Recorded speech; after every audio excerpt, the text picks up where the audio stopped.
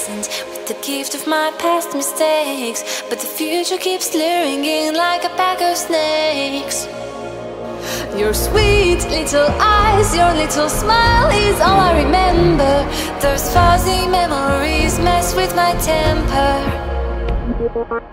Justification is killing me, but killing isn't justified. What happened to my soul?